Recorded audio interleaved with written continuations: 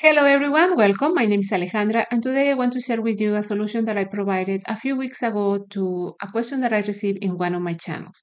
The question is, how can I split information that I receive in only one column where I have the name of the container in one line and the date on the other line?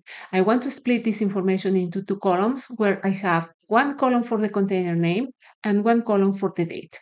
So I'm going to show you the solution with Power Query today and later on in another video, I will show you the solution using Excel functions. So let's start.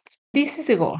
I need to split this information into two columns, having the container and the date. I'm going to right click to my column uh, with, with the original information and I'm going to select get data from table range. I'm using Microsoft 365. You can also go to the data tab and click add from table range. The Power Query editor will open. As I said, I'm using Microsoft 365, Control C plus to zoom in. On the left, you see that I have two solutions already. One using uh, index columns, integer divide, modulo, pivoting columns. We don't need to do all of that. There is a better uh, way to do this with list alternate. Uh, much simpler, is more straightforward. And for that reason, let's see what list alternate does. List alternate returns a list comprised of all the odd numbered offset elements in a list. Alternates between taking and skipping values from the list depending on the parameters. We need to provide the count, which specifies the numbers of values that are skipped each time. And then we have two optional parameters, repeat interval and optional repeat interval to indicate how many values are added in between the skipped values and offset. An option offset parameter to begin skipping the values at the initial offset, at the initial offset, sorry. So let's go and see the structure of this function. The function is asking for a list is asking for the count as nullable number, and then we'll ask for two optional parameters. We can provide or not these two parameters. The repeat interval and the offset needs to be provided as nullable numbers. Let's see some examples. I have example one where I need to create a list 1 to 10 that skips the first number. So list alternate, we provide the list from 1 to 10 and it's going to skip the first item.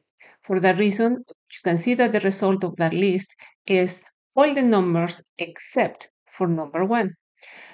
The next example is asking to create a list from 1 to 10 that skips every other number.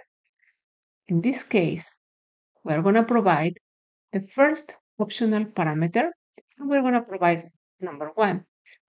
By doing this, we're going to skip every other number. For that reason, you can see that the only numbers that we will get as a result is 2, 4, 6, 8, 10. We're skipping 1, 3, 5, 7, 9.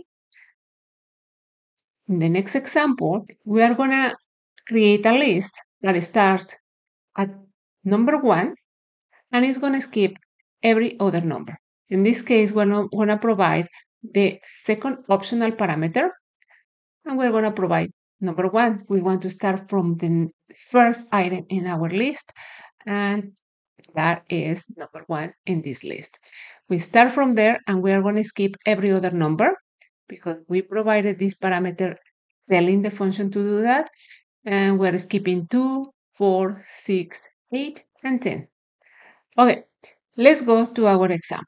Here, Power Query created um, my query with the name table1 is the name of the table. I can change it. I can double click there and I'm going to change it as demo. And on the right, I can see that I have two steps. One is the source and the other one is change type. And this is Power Query change the data type in this uh, column. So I'm going to delete this step. Uh, I don't need it right now. And I'm going to hide the queries uh, on the left. So we have more room here and Control Shift plus to zoom in a little bit more. You can see that here I have a column. I have my table with one column and I want to convert this column into a list. To do that, I can go to the formula bar. At the end, I can provide one set of square brackets and provide the name of the column that I want to convert or transform into a list. From there, I'm going to press enter. And gave me an error because I didn't provide the name, the name correctly. So now that I provided properly, now you can see that our column original is transformed into a list. Okay, from there, I'm going to create another step. I'm going to click FX here on the formula bar on the left of the formula bar. After the equal, I'm going to say list alternate. This. Open parentheses, and it's going to ask me for a list. I already have a list that is coming from my step source, which is the list that I'm seeing here. After the word source, after my step source, I'm going to provide a comma and I can provide my first, uh, and I can provide my count parameter, which is one. And I'm going to close parentheses and I'm going to press enter. As you can see, as the example that we were looking at before, I have skipped the first item on my list. Now what I want to do is I want to skip every other number. So I'm to go to the end and press enter. Now what I did is I'm skipping all the container names by telling this function that I want to skip the first item and then I want to skip every other item. Now let's say if I didn't want to skip the first item, if I want to start from the first item on the list, I provide the last parameter and I press enter. Now you can see that here I get the list of all the container names. Now I can convert this list into a table. So how we're going to do that? Very simple. After the equal, I'm going to say table from columns, open parentheses. It's going to ask me for the list as list. Well, to tell Power Query that some information is a list, I need to provide the curly brackets. My first list is coming from list alternate with all the parameters, right? And I'm going to provide the comma to separate from the other list. And my other list will be up to here. Control V to paste. Close parentheses for the uh, list alternate for the second one. Close the curly brackets for the list and close the parentheses for the list alternate. And I'm going to press enter. Now you can see that I have my column for the containers and my column for the dates. I can double click here and change the, the column name, or I can use the parameter that I have from the table from columns. I can provide the columns as any.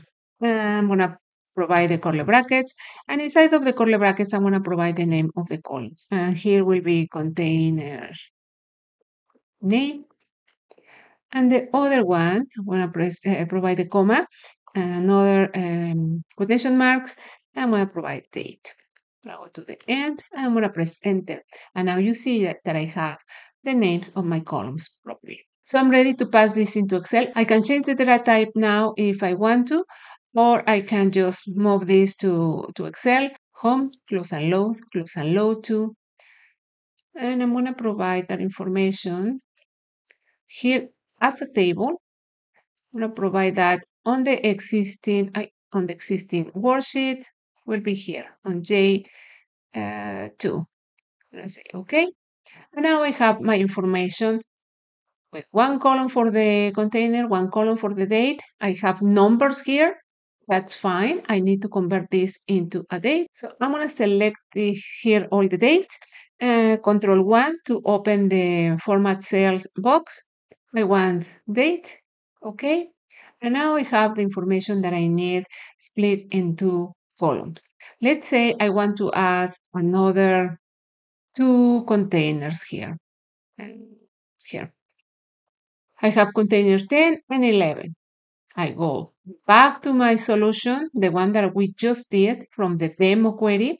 I'm going to right click inside of my table and I'm going to say refresh you can see that I have that information updated with the two, two new um, containers.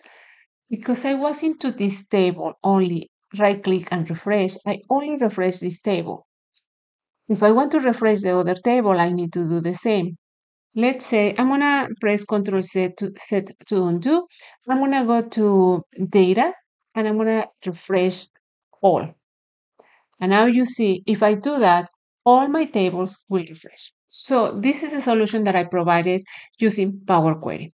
Um, next time, I will show you how the solution is with functions in Excel. Uh, we're going to use the functions um, sequence, count A, and index.